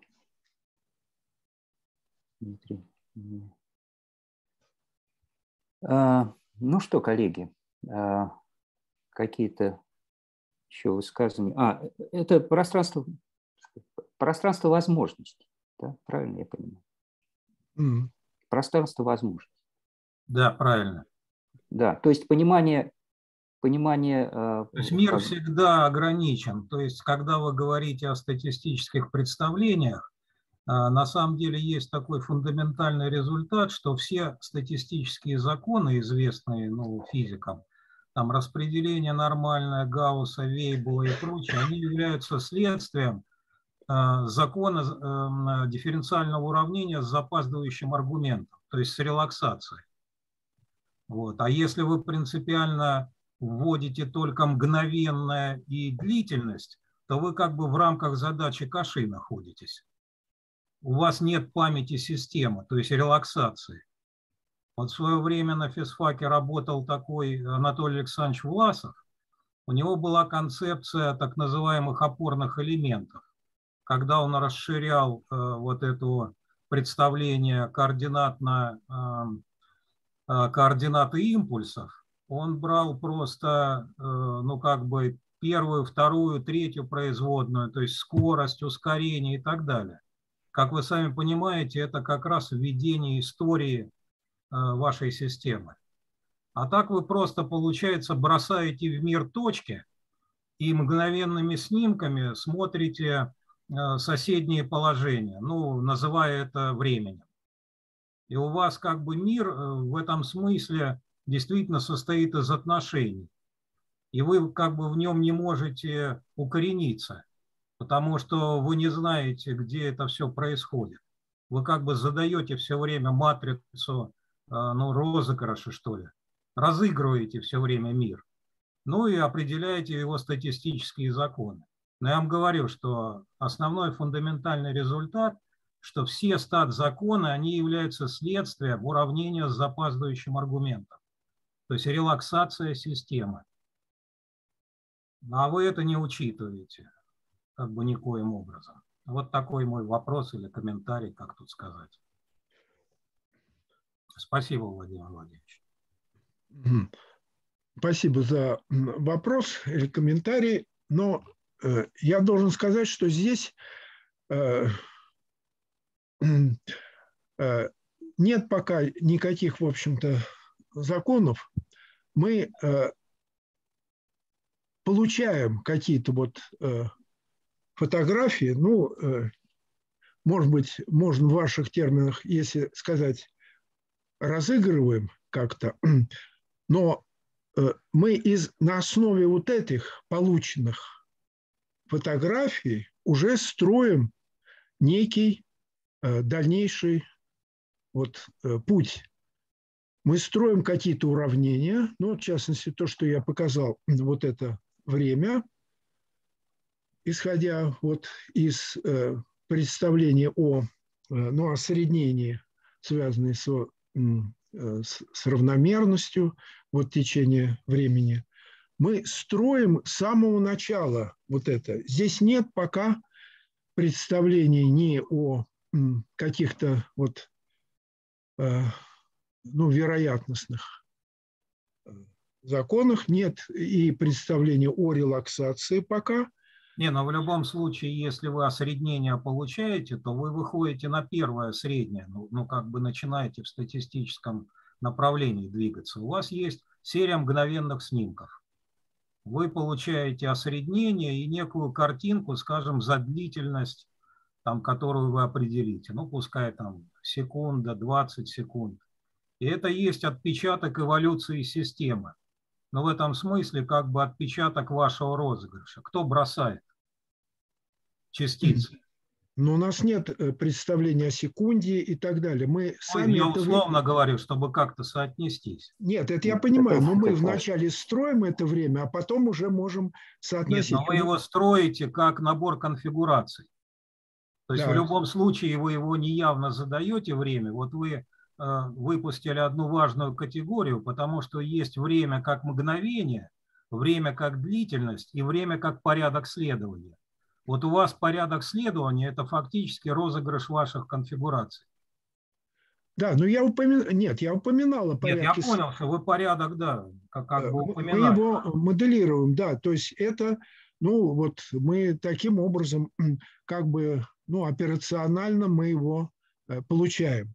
Да, вот мы получ... Э, э, такой вот набор, да, получаем э, картинок, и затем мы можем говорить о, ну, считаем, что вот порядок у нас уже есть, каким-то образом он предъявлен, и мы имеем вот, ну, вот картинку мгновения, и по паре вот этих близких картинок получаем, ну, вот это вот, ну, метрическое соотношение между этими двумя положениями. Вот. И мы его, ну там на самом деле это не норма даже, это полунорма, вот то, что среднеквадратичное. И вот мы вводим вот это вот, э, ну вот, приращение, которое мы и соотносим со временем. Ну, то есть вот. категории как бы волнового уравнения, синхронизации процессов, Нет, они вне этой системы картинки лежат. Э, ну, понимаете, вот э, когда мы говорим о вот волновом уравнении, ну, я ну, подчеркиваю. волновом да, представлении. Да, мы это можем сделать, э, но это как бы следствие вот этого здесь, потому что вот то, как вводится одновременность здесь и вот одновременность в этой системе, а потом одновременность тоже соответствует специальной теории относительности, где именно вот представление о волновом, это как бы уже, ну, вот отсюда может быть построено. То есть я говорю, это попытка строить, ну, вот от начала, от начала, поэтому э, если мы, э, ну, вот то, что вы имеете в виду под релаксацией, это надо э, уточнять, но это уже какие-то следующие шаги, понимаете? И математические вот следующие там вот представления, это можно ну, просто подробнее посмотреть. Но я э, хочу сказать, что все-таки здесь это вначале у нас вот есть некоторые такие вот простейшие вещи, ну, действительно, можно сказать, вот мгновение, пара вот мгновений, ну, порядок, если хотите, их вот. И дальше мы уже отсюда исходим э, в следующих построениях. Спасибо. Спасибо. Хорошо. Ну, что? Я думаю, что уже как бы э, вопросы, наверное, ну, вопросы остаются, но это, наверное, на какой-то нужно еще э, как-то лучше осознать то, что мы услышали, и, может быть, вернуться и посмотреть более внимательно к текстам. Э, по крайней мере, у меня такое желание как бы усилилось да, после сегодняшней Я, беседы. Я, по крайней мере, понял, что такое релятивизм. Это, наверное, релятивизм, это, наверное, реляционизм. Да. Ну, да, да. да, это разные все-таки. Я вам вот в этом смысле э, рекомендую посмотреть вот эту книжку Владимирского называется «Космическая погода и биосфера». Угу. Вот здесь как раз э, масса примеров синхронизма реального, как в природе между собой все взаимосвязано. Вот я как бы пафос моих вопросов был с этим связан. Что есть реальный неразыгрываемый ход природы. Понимаете? А как бы к чему мы приближаемся, если Э, но может, э, скажем, э, так сказать, какой-то социальной реальности, когда вот этот тип мироустройства, он становится приемлемым для той социальной организации, которая сейчас вот намечается у человечества. Ну, условно говоря, как бы поджатие свободы воли. Я думаю, что... Ну, вы понимаете, когда вы начинаете разыгрывать, вот. А где свобода воли? -то? Ну, я должен заметить, что это э, разыгрывание, это вот, э, ну, э, когда мы говорим о моделировании здесь, но в принципе это можно и обычные фотографии. Мы можем фотографировать, собственно, объекты получать вот эти вот фотографии, суммы по ним – это обращение к реальному миру. Здесь это не отрицается. Наоборот, мы можем, пожалуйста, можем получать фотографии. Даже шла речь о том, что вот набирать какие-то данные и так далее о движении объектов. Это можно, это отнюдь не противоречит. Это не только вот такая модель как бы вот игрушечная. В принципе, это может быть соотнесено и вот с реальными какими-то наблюдениями. Ну, а релаксация – это простая вещь. Вы берете черный ящик, у вас есть сигнал, он гуляет по черному ящику, и вы смотрите отклик.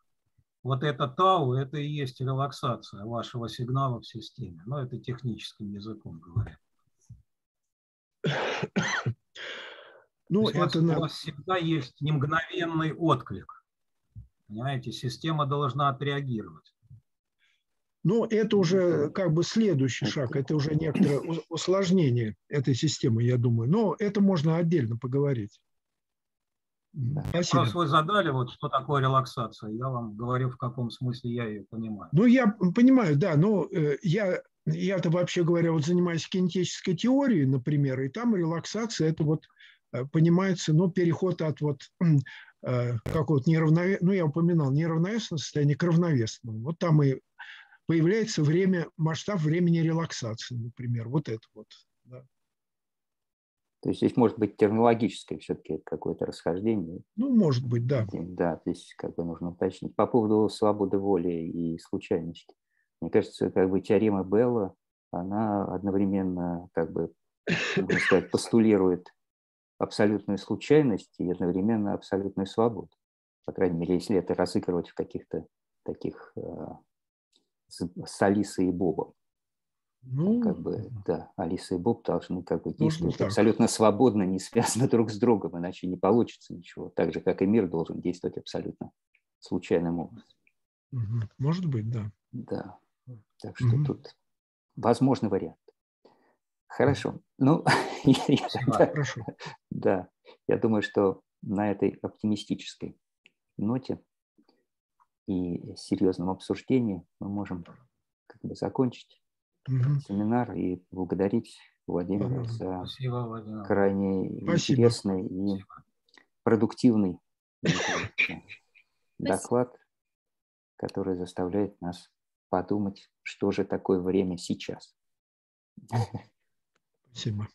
Спасибо, Владимир. Ладно, спасибо. Всего хорошего. До свидания. До свидания. Счастливо, Андрей. Счастливо. Вот я это еще тогда одну тебе книжку покажу, получишь да. удовольствие. Сейчас я включу этот самый. Да.